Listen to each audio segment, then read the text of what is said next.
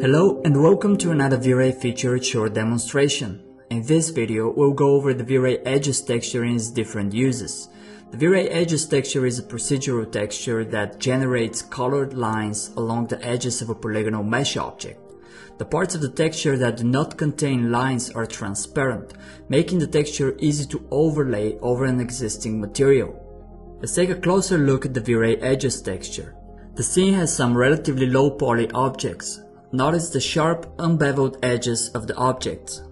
Let's start V-Ray RT so we can render interactively. The light setup is the V-Ray Sun and Sky system. You can learn more about how to set it up in another V-Ray short demonstration. A material override is used with a dark gray material that has reflectivity and glossiness less than 1. This way, if any bevels are present, they can be easily identified. Let's plug in a V-Ray Edges Tex in the diffuse slot. The edges of all mesh objects appear in white. This color can be adjusted from the color swatch.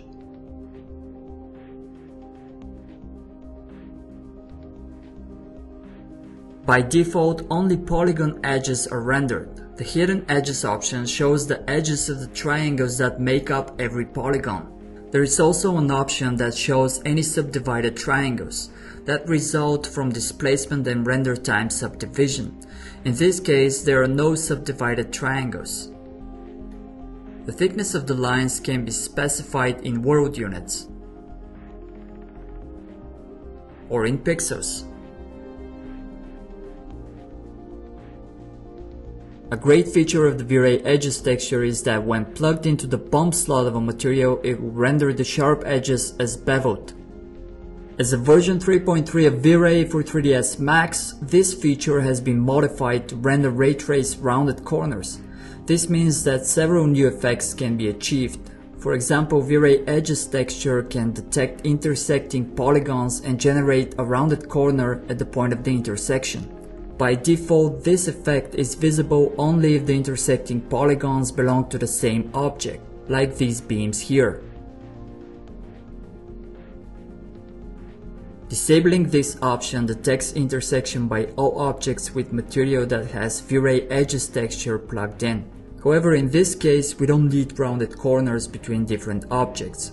Currently all intersections and edges are rounded at render time, and as we can see here, there are some intersections that are not desired. These are all concave corners and can be disabled from being rounded by this dropdown. Of course, the other way around can be used as needed. Finally, let's adjust the size of the round corners. Let's use a larger one.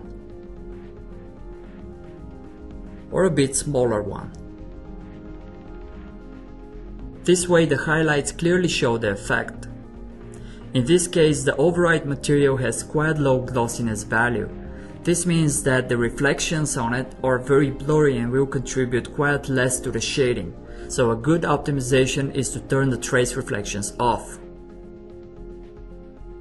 Now let's remove the material override and see how the V-Ray Edges Tex can contribute greatly to the final look of the shader. In this short video tutorial we have covered how the V-Ray Edges texture can be used to generate outlines and rounded corners at render time.